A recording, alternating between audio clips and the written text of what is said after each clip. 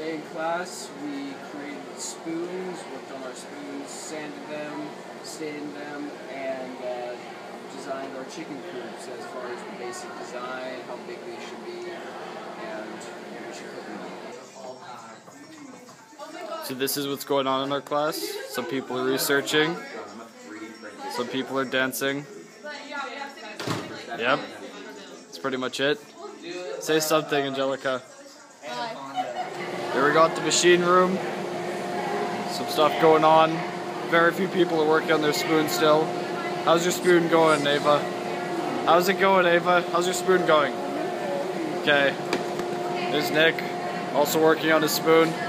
Very nice, Nick. Bitch, there you go.